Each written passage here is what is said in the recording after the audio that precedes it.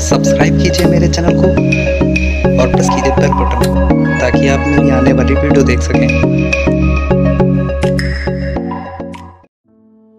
Hello friends मैं अभिजीत। आज की वीडियो में मैं आपको कन्फ्रेडेड रोज़ यानी स्थल पद्मा को केयर करने का प्रोसेस बताने वाला हूँ और साथ ही साथ इसके कलर बदलने का प्रोसेस भी आपको दिखाऊँगा कि ये किस तरह से अपने आप को कलर बदल के ये फ्लावर चेंज कर लेता है।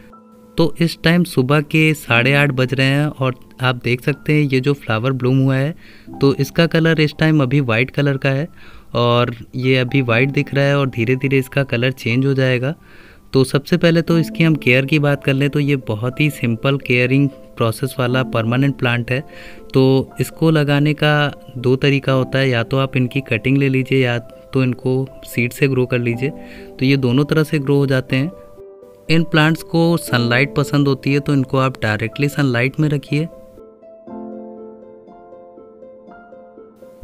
तो फ्रेंड्स आप देख सकते हैं, इस टाइम बारह बज के तीस मिनट हो रहे हैं, और जो हमारा फ्लावर है, वो उसने कलर चेंज करना शुरू कर दिया है। तो इसने अब दूसरा कलर चेंज किया है, इसमें थोड़ा सा हल्का सा पिंक कलर का आपको फ्लावर दिख रहा होगा।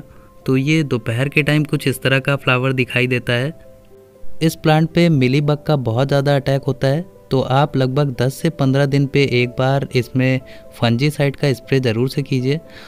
अगर आप अपने प्लांट से मिलीबग को हटाना चाहते हैं और आप कोई कीटनाशक खरीदना नहीं चाहते हैं तो घर पे ही आप कीटनाशक तैयार करने की विधि देख सकते हैं आपको इस वीडियो के डिस्क्रिप्शन में। उस वीडियो का लिंक मिल जाएगा। इन प्लांट के फ्लावर की एज एक दिन की होती है तो इनके फ्लावर एक दिन ही तक खिले रहते हैं, फिर उसके बाद ख़राब हो जाते हैं।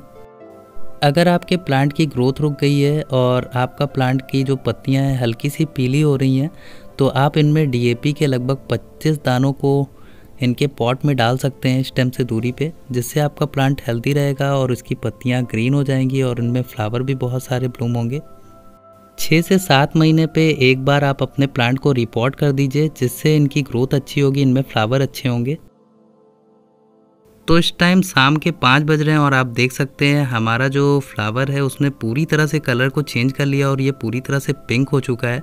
तो बहुत ही सुंदर प्लांट होता है, ये बहुत ही अच्छा दिखता है। तो फ्रेंड्स आप मुझको बताइएगा कमेंट करके कि ये वीडियो आपको कैसी लगी। अगर आपको वीडियो अच्छी लगी हो तो वीडियो को लाइक कीजिएगा और चैनल पर नए हैं तो सब्सक्राइब कीजिएगा। आज के लिए इतना ही टेक केयर एंड बाय